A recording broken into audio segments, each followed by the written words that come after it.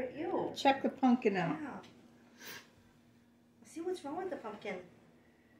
His temperature doesn't feel. He has a fever. What? Check his heart.